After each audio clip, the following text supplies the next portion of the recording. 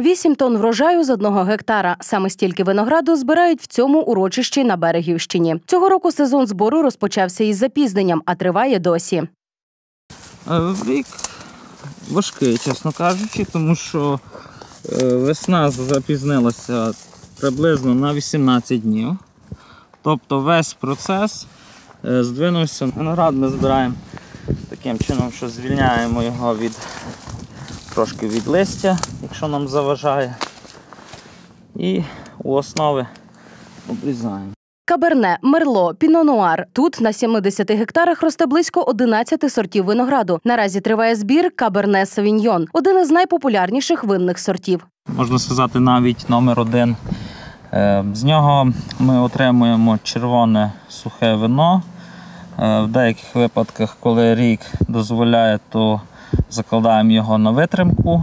Е, Це хороше, гарне, червоне, збалансоване вино. У ящики пакують тільки найкращі грона, і через 4 години після збору ароматні ягоди доставляють на переробку. Великі виноробні заводи використовують потужну техніку для цього. Весь процес переробки винограду на сік механізований. А колись все було зовсім не так, розповідають у музеї виноробства. Спочатку човили ногами, звичайно, ну і користувалися е, також різними е, знаряддями праці для продовження цього процесу. Звичайно, це є і старовина дробилка, вона є повністю дерев'яна. Ну а тут у нас є прес, він трошечки вже такий адаптований, більш сучасний. Да, а це є австрійський прес, який користували колись наші предки для того, щоб виготовляти вино.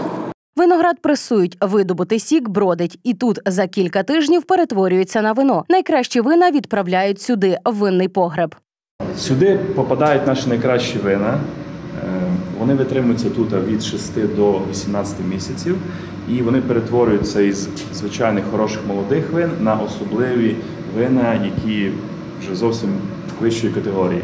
Е, Кожна бочка на фінальній стадії вона обжарюється полум'ям, внаслідок чого із деревини виділяються певні елементи, цукри, соки, і вони кристалізуються на стінках бочки. Після того, як ми заповнюємо бочку вином, ці елементи потихеньку розчиняються в бочці і таким чином збагачують його такими особливими ароматами, смаками, як ваніль, е, какао, шоколад. Так виходять вистояні вина. Вони тут різні: сухі, солодкі, білі, червоні та розе. Аби виготовити найкращий напій, за процесом слідкує десяток спеціалістів різних професій. Фахівці розповідають, як перевірити, чи якісне вино, а ще розказують, як його правильно споживати. Перше це візуально, тобто зір, потім на аромат, тобто ніс працює, і третє це на смак. Тобто по візуально по вину можна подивитися, подивитися, чи воно блискуче, чи воно прозоре. Е, блискучість, прозорість говорить про те, що воно вже, скоріш за все, здорове. Е, по ароматиці це дуже важливий етап оцінки вина. І третій етап, самий приємний, це, звичайно, оцінювати вино на смак.